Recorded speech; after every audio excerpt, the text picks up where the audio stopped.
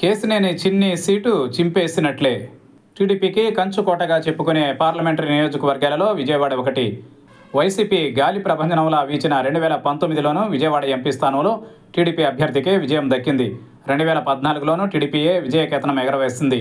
ఇప్పటి వరకు YCP Vijayawada MP సీటును గెలుచుకోలేకపోయింది.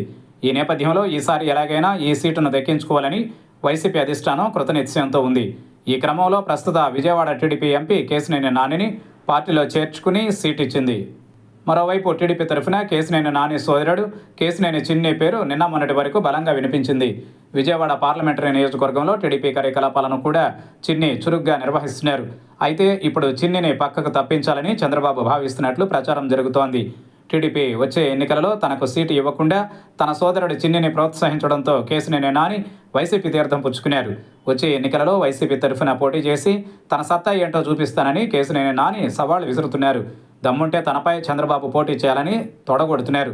వచ్చే ఎన్నికలలో మరోసారి గెలుపొంది చంద్రబాబుకు షాక్ ఇవ్వాలని కేసునేని నాని పావులు కదుపుతున్నారు. ఈ నేపథ్యంలో తమ సిట్టింగ్ సీట్ అయిన విజయవాడను ఎట్టి పరిస్థితుల్లోనూ నిలుపుకోవాలని చంద్రబాబు భావిస్తున్నారు. ఈ క్రమంలో ఎంపీ అభ్యర్థిగా కేసినేని చిన్ని స్థానంలో గద్దె రామ్మోహన్ను బరిలోకి దించాలని యోచిస్తున్నారు. పంతొమ్మిది వందల తొంభై తొమ్మిదిలో గద్దె రామ్మోహన్ విజయవాడ ఎంపీగా టీడీపీ తరఫున విజయం సాధించారు. రెండు వేల పద్నాలుగు రెండు వేల పంతొమ్మిది ఎన్నికలలో గద్దె రామ్మోహన్ విజయవాడ తూర్పు నుంచి టీడీపీ తరఫున ఎమ్మెల్యేగా గెలుపొందారు. కమ్మ సామాజిక వర్గానికి చెందిన గద్దెకు వివాదరహితుడిగా సౌమ్యుడిగా అందరికీ అందుబాటులో ఉండే వ్యక్తిగా పేరుంది. అంతేకాకుండా గతంలో ఓసారి ఎంపీగాను పనిచేసి ఉండడంతో చంద్రబాబు ఆయన వైపు మొగ్గు చూపుతున్నారని తెలుస్తోంది. ఇక ఇప్పటి వరకు విజయవాడ ఎంపీ అభ్యర్థిగా ప్రచారంలో ఉన్న కేసునేని చిన్నిని గద్దె రామ్మోహన్ ప్రస్తుతం ప్రాతినిధ్యం వహిస్తున్న విజయవాడ తూర్పు నుంచి అసెంబ్లీకి పోటీ చేయిస్తారని టాక్ నడుస్తోంది. ఇప్పటికే వచ్చే ఎన్నికలలో కేసునేని నానిని మూడు లక్షల ఓట్ల తేడాతో ఓడిస్తామని విజయవాడ టీడీపీ నేతలు సవాల్ చేశారు. ఇది జరగాలంటే గద్దె రామ్మోహన్ అయితే సాధ్యమని ఆ పార్టీ నేతలు భావిస్తున్నారు.